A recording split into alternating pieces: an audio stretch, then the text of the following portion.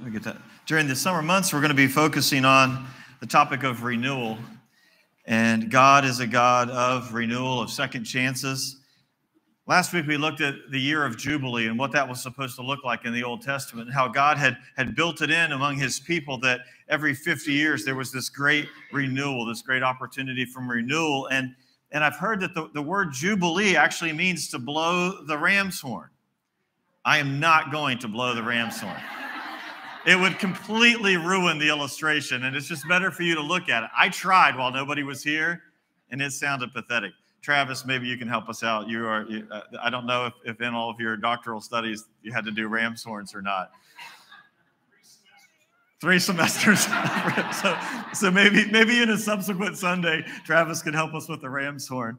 But we're looking at renewal we have a we serve a God who loves us, who wants to bring second chances, wants to bring renewal to our lives. And I, am excited because I, feel like the story that we're going to read from the scriptures today, it's one of my favorite stories about renewal, about sort of the reset button and second chances in, in our personal lives. And it is uh, the story of, of, Peter and God uh, renewing the call to Peter uh, in that, in the, as it's re- listed in John. So um, the story begins uh, on a beach, which is a great place for a summer Sunday sermon to begin on a beach.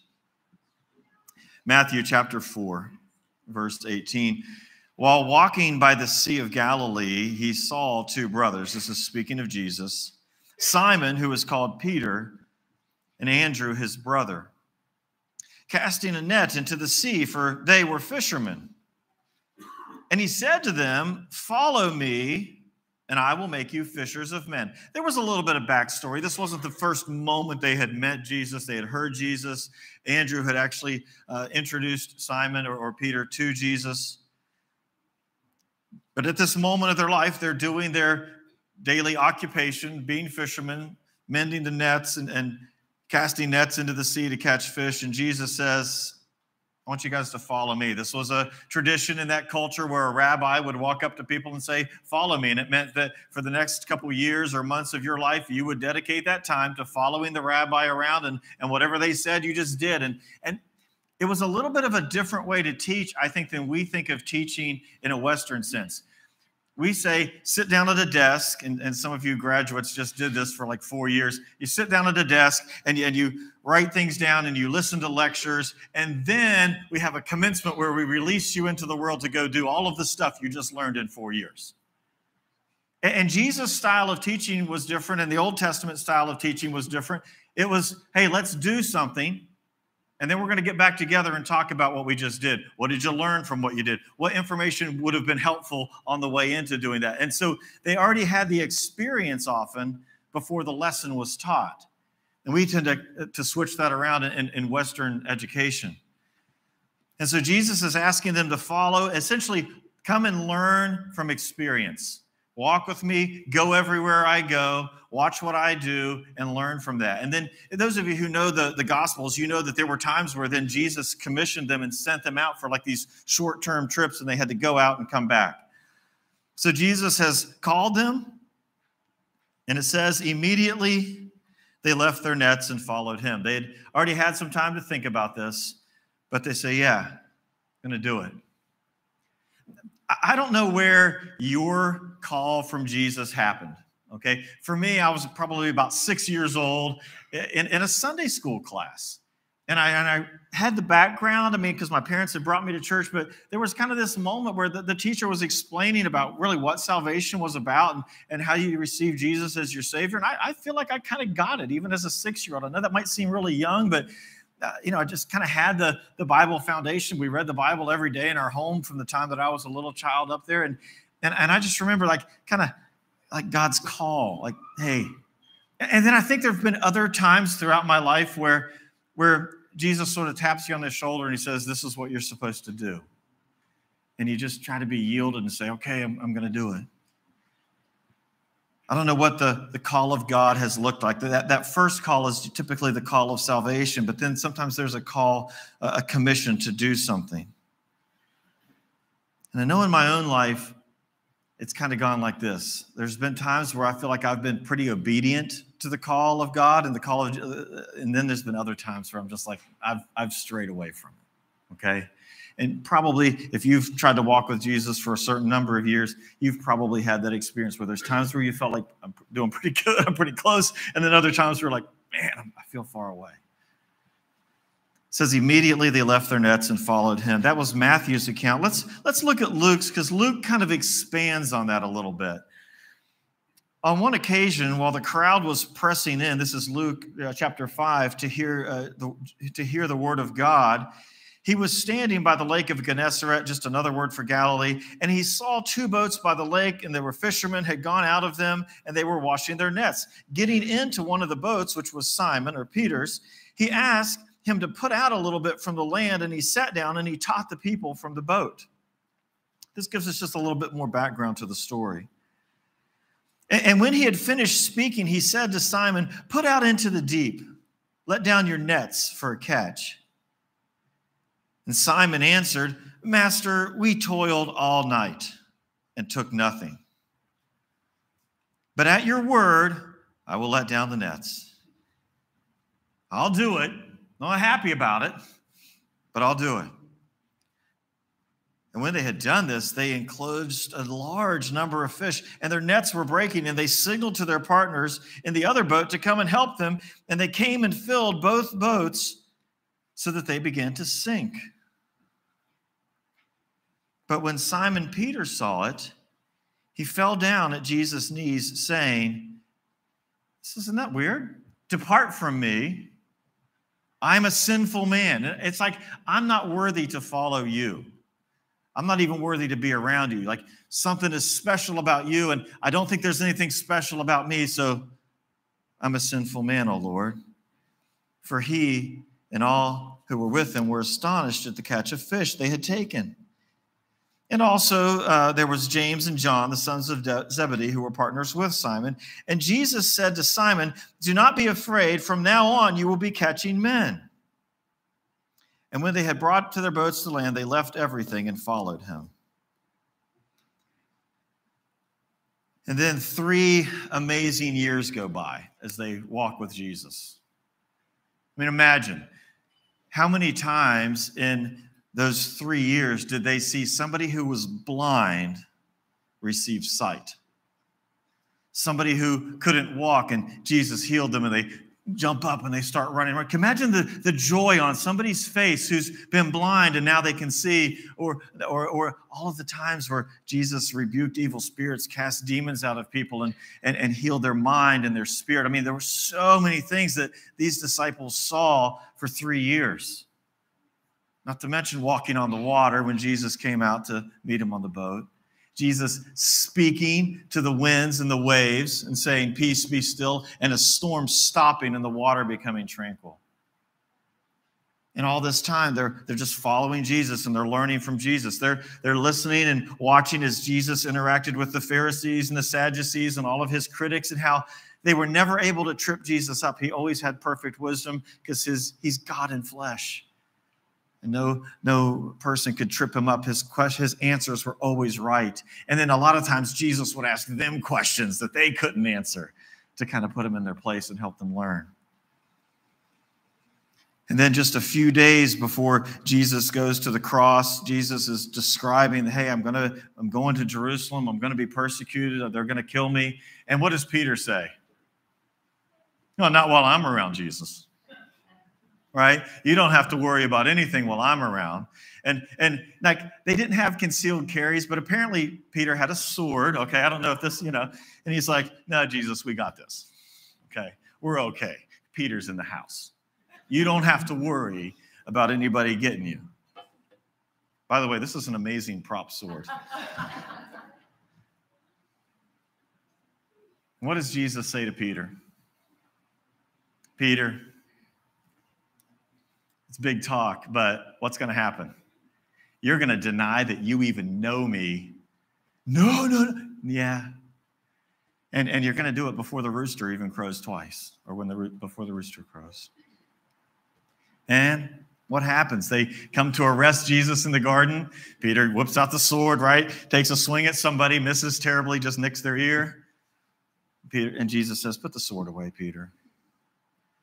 They lead Jesus off to the trial. Peter follows at a distance, kind of scared to be with Jesus now. He was big talk. Now he's a little bit scared and he's following from a distance. And, and somebody comes up to him and says, Hey, weren't you one of his disciples? Now, they could tell by his accent.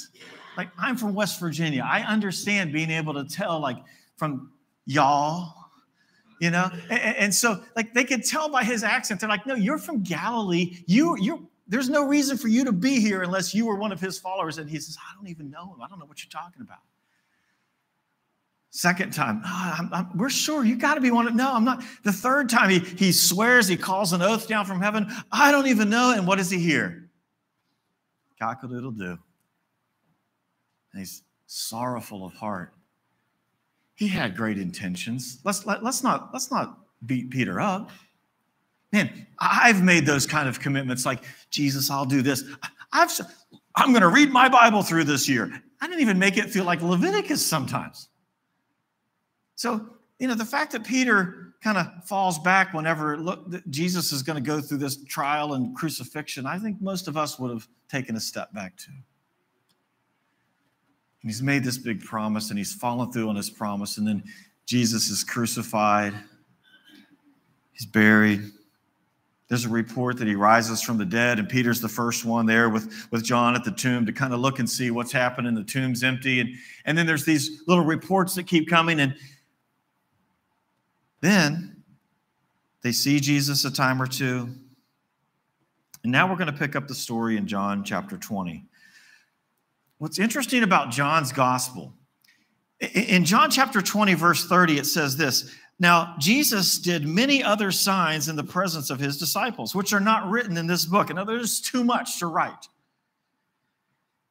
But these are written, what I have included here, so that you may believe that Jesus is the Christ, the Son of God, and that believing you may have life in his name. And it's almost like that's the end of John's gospel. But then John's like, I don't know if there was a little bit of a page left and, and paper was, was expensive back then, or he still had some ink, or, but he, there's one more story. And then John 21 happens, and he writes this one final story, and that's what I want us to look at this morning. After this, Jesus revealed himself again to the disciples by the Sea of Tiberias, again, another name for Galilee. And he revealed himself in this way Simon Peter, Thomas, called the twin, Nathanael of Cana in Galilee, the sons of Zebedee, and the other uh, two other disciples were together. And Simon Peter said to them, I'm going fishing. If you're looking for a good verse in the Bible, it's a good one. Haven't seen that one on a coffee mug yet, but Peter said it, so it's a good phrase. I'm going fishing. Of course, what is he really saying here? Hey, it's been a fun three years, fellas. Didn't quite go the way we intended it to go. I'm going back to work. Where did the story start? He's fixing his nets. And Jesus says, Come follow me. And he's left, he's left those nets now. And now what's he saying? I'm going back to my job going back to the family business. What did they say? We're going with you. And they went out and got into the boat. But that night they caught nothing. Just as day was breaking, Jesus stood on the shore, yet the disciples didn't know it was Jesus. And Jesus said to them, Children, do you have any fish? And they answered, No. And he said to them, Cast the net on the right side of the boat, and you will find some. So they did it. Now they were not able to haul it in because of the quantity of fish. That disciple whom Jesus loved, and that's that means John. In John's gospel, he never refers to himself by his own name. He always calls himself the disciple Jesus loved. I don't know if that was trying to like tell the other disciples something or what, but I don't know if it was a humble thing or a proud thing, but he's like, the disciple Jesus loved. Uh, therefore said to Peter, It is the Lord. When Simon Peter heard that it was the Lord, he put on his outer garment, for he was stripped for work, and he threw himself into the sea. Start swimming for shore. The other disciples came in the boat, dragging the net full of fish, for they were not far off from land, about a hundred yards off. When they got out on land, they saw a charcoal fire in place with fish laid on it and bread. And Jesus said to them, Bring some of the fish that you have just caught. So Simon Peter went aboard and hauled the net ashore full of large fish, 153 of them. And though there were so many, the net was not torn. And Jesus said to them, Come and have breakfast. Now, none of the disciples dared ask him, Who are you? They knew it was the Lord. Jesus came and took the bread and he gave it to them, and so with the fish. This was now the third time that Jesus was revealed after the disciples, uh, with, to the disciples after he was raised from the dead. So there's a conversation that has needed to happen, and it has been avoided twice. There's been two other opportunities where Peter could have said, Hey, remember about the rooster? Sorry. So he's had, have you ever had one of these things happen like you knew you needed to talk to somebody about whatever? And you talked to them like two times, three times, and you just you couldn't find a way to bring it up. It looks like that's already happened now twice with Peter. He's had a couple chances. When they had finished breakfast, Jesus said to Peter, Simon, son of John, do you love me more than these? I think he's pointing to the other disciples because Peter has says, I'll, I'll go with you to the very end. I'll never forsake you. And so he says, Do you love me more than everybody else, Peter? What a hard question for Peter to have to answer. And he said to him, Yes, Lord, you know that I love you. And he said to him, Feed my lambs. He said to him a second time, Simon, son of John, do you love me? And he said to him, Yes, Lord, you know that I love you. And he said to him, Tend my sheep. My understanding is that the, the Greek on this, there's a little bit of a play on words, the, the type of love that Jesus is saying to you, agape me, and, and Simon is answering, I phileo you, like he's using a different, like a little bit less of a level of love to answer the question. Verse 17, he said to him a third time, Simon, son of John, do you love me? Peter was grieved because he said to him the third time, Do you love me? Why do you think Peter's grieved? How many times did Peter deny? How many times does Jesus ask? Yeah. See, I mean, Jesus was on trial. Jesus is getting put on the cross. So, so Jesus wasn't there hearing Peter deny, right? So Peter's got now. Now Jesus is kind of letting him know, I know, Peter. I know, and I know it happened three times. Peter was grieved. Peter was grieved because he said to him a third time, Do you love me? And he said to him, Lord, you know everything. You know that I love you. And Jesus said to him, Feed my sheep. Truly, I say to you, when you were young, you used to dress yourself and walk wherever you wanted. But when you are old, you will stretch out your hands, and another will dress you and carry you where you do not want to go. Uh, this he said to show by what kind of death he was to glorify God. So Jesus is prophesying to Peter the way in which Peter would die. We know that Peter was also crucified. You will stretch out your hands, and people will take you to a place you don't want to go. And after saying this, Jesus says something really interesting. What does he say to Peter? The very thing he said at the beginning follow me. This whole couple years has happened. Peter's seen it all. Peter's denied and failed miserably. And Jesus reconciles. And what does he do? He comes back and he says, Peter, would, would you like to push the start over button? Would you like some renewal? And Peter's like. And look at what happens in Peter's life after this. Peter becomes this great cornerstone or, or, or this great uh, person who begins preaching in the church. And, and so many people, I mean, he, just a few days after this, after Christ goes uh, ascends to heaven, Peter's going to preach, and like 3,000 people at once are going to believe in Jesus. After saying this, he said, Follow me. What's the takeaway this morning from this final story in John's gospel? Takeaway number one is that Jesus wants you and me to follow him. The, call that he made to the disciples is the same call that Jesus makes to you and me follow me, be a disciple. Lord Jesus, I just want to live the way you want me to live. I want to be obedient to your commands and your teaching. That's why we, we talk about the gospel as something we obey. Jesus wants you to follow him, he wants me to follow him.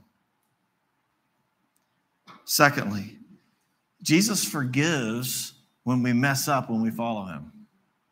Aren't you thankful for that? There's this verse in the Psalms that says, You remember my frame and you know that I'm dust. In other words, God, you made me. You, remember my frame. You know I'm dust. I'm going to mess up. And even though we mess up, Jesus still forgives. And when we mess up, Jesus still comes back with the call again. Hey, you struggled to follow me? I get it. You know what I want you to do now? Follow me. Oh, you, you tripped up and you struggled to follow me? You know what I want you to do now? Follow me. Jesus renews the call. He forgives and he renews the call. In First John, later, when John would write another letter to the churches, he said this If we confess our sin, he is faithful and just to forgive us our sin and cleanse us from all unrighteousness, like it never happened. Jesus doesn't keep coming back to Peter, beating him up for the three times. Peter denied him three times. Jesus gives him the opportunity three times to say, I love you. And then Jesus is like, That's done. Follow me. It's done. Follow me. My question to you this morning is Is Jesus renewing a call to you to follow him? Somewhere, somewhere along the way, maybe at a church camp, maybe in a church service, maybe just through reading the scripture and prayer, you decided, I'm going to follow Jesus. I'm going for it. Let's go. And you left your nets, so to speak, and you said, I'm going to follow Jesus. But life has thrown you a curveball or two and you found that following Jesus wasn't easy, it was actually kind of difficult, and maybe you slipped up along the way. Man, just like with Peter, Jesus is saying to you, hey, it's okay. I already paid for that on the cross. Follow me. And, and I want you to hear a renewed call from Jesus this morning to follow him. Perhaps you are hearing the call to discipleship for the first time. Maybe this is kind of a new thing for you. This idea of following Jesus, becoming one of his followers or his disciples. We say here at Leesburg, our, our goal is to love God, love our neighbor, and it means that each one of us is trying to read God's word and encourage one another to follow Jesus. And, and if you're not following Jesus and you want to try to follow Jesus, we want to try to help you follow Jesus too. And guess what? Everybody in this room who's following Jesus has messed up. But you know what? We've also heard Jesus say, It's okay, I got that covered. Now just follow me again. Maybe you're hearing that call for the first time. Maybe you're at the beach at the beginning of the story. The story begins and ends on a beach. Some of you are on the second beach, and some of you are on the first beach hearing Jesus call you for the first time. Some of you are over here, you followed Jesus and messed up, and you're saying, you're hearing Jesus say, Follow me again. But some of you who maybe you're on that first beach, maybe you're kind of like Peter and you're saying, I don't know if I'm worthy to follow Jesus. Remember, Peter's initial response wasn't, Yeah, great. It was, Depart from me. I'm a sinner. And Jesus says, I know you're a sinner. That's why I'm here. That's why I'm calling you, because because you've messed it up. And I came to fix it. So if you're on the first beach this morning, I would encourage you decide to follow Jesus. Decide to become one of his disciples. If you're like Peter and you're on the, the second beach and you've decided a long time ago, but you've kind of slipped up along the way, this is a great opportunity. This is a summer of renewal, and today is a great opportunity to renew that commitment, saying, Jesus, I'm going to follow you again. And He welcomes you back. Father, I pray that whichever situation we're in, whether we've never set out to follow you, and today's kind of the you're, you're, you're touching our hearts to, to start following you and following your example and following your teaching. Or Lord, maybe we've tried to follow you at times and failed. Either way, Lord, I pray that we would experience your forgiveness, your healing, and that we would respond to the call to follow you. You are a good shepherd and you lead us, and I pray that we would hear your voice and follow after you. In Jesus' name, amen.